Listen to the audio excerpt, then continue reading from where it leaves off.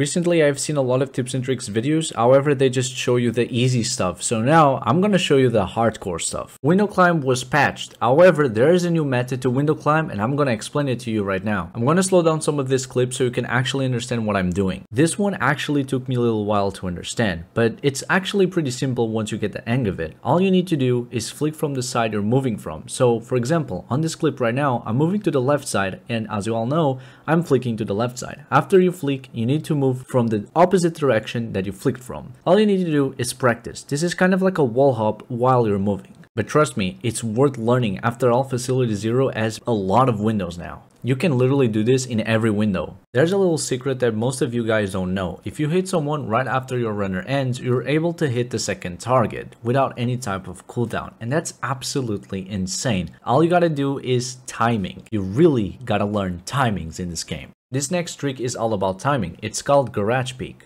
All you gotta do is run to garage on the vent's direction and once your runner ends, you jump and hit the person that is going to the vent. This allows you to get some early round kills and show everyone that you're the boss. There's nothing more badass than killing someone through a wall, so here's a trick that I'm going to show you. This is probably the easiest wallbang you can learn in the entire game. All you need to do is jump on the direction that I'm showing on the video and spam your hammer. If anybody's hacking on that position, they are dead. And if you do, don't forget to clip it and send it to me. Some of the most recent Roblox updates actually broke the game's physics. So now you can get on top of the roofs just by flicking like I'm doing on this video. That's literally that. And if you can do it at first try, just keep jumping until you get enough height to grab the roof. You can also do this as Survivor. All you need to do is crawl in the middle of the bush and jump and there you go. This is very useful to make the Beast Waste Runner. All of you probably thought that elevator glitch is patched, however you can actually still get on top of it. If you use 30 FPS, this trick is actually a lot more easier than 60 FPS. I've only been able to do at least 5 times with 60 FPS and I've been always consistent when I'm with 30 FPS. So download Roblox FPS Unlocker, link in the description. And no, it's not a virus. This next trick requires no head collisions, so here's on the screen right now how you can do it and wait until your character wakes up. And there you go. You have no head collisions anymore.